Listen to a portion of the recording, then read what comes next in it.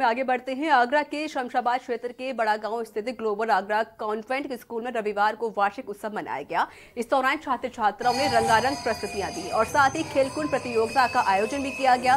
बता दें, शमशाबाद क्षेत्र के बड़ा गाँव स्थित ग्लोबल आगरा कॉन्वेंट स्कूल में रविवार को वार्षिक उत्सव मनाया गया, जिसे लेकर स्कूल के छात्र छात्राओं में पहले से ही काफ़ी उत्साह था।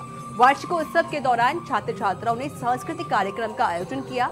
इसके अलावा खेलकूद प्रतियोगिता का भी आयोजन किया गया, जिसमें बच्चों ने बढ़ चढ़कर प्रतिभाग किया। स्कूल प्रबंधक विष्णु प्रकाश रावत ने बताया कि विद्यालय परिसर में हर वर्ष वार्षिकोत्सव का आयोजन किया जाता है, जिसमें विद्यालय के ही खेल कूद विभाग द्वारा प्रशिक्षित बच्चे प्रतिभाग करते हैं और अपनी प्रतिभा का प्रदर्शन करते हैं। वार्षिकोत्सव के दौरान हुई खेलकूद प्रतियोगिता में प्रतिभाग करने वाले विजेता प्रतिभागियों को पुरस्कार देकर सम्मानित भी किया गया। इसके अलावा मुख्य अतिथि के तौर पर कार्यक्रम में शामिल हुए भाजपा विधायक जितेंद्र वर्मा ने स्कूली छात्र छात्राओं के भविष्य के कामना की।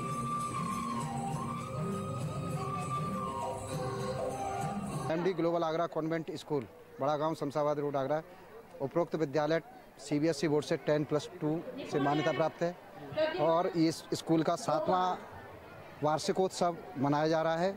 आप सभी मीडिया बंधु ने देखा है, कार्यक्रम में बच्चों ने जो सांस्कृतिक कार्यक्रम किए जा रहे हैं, तथा खेल कूद के भी कार्यक्रम जो कर लिए गए थे स्कूल में, उनके प्राइज डिस्ट्रीब्यूशन के लिए भी एक दिन रखा गया, जिसमें आज के मुख्य अतिथि हमारे क्षेत्र के विधायक श्री जितेंद्र वर्मा जी मुख्य अतिथि रहे।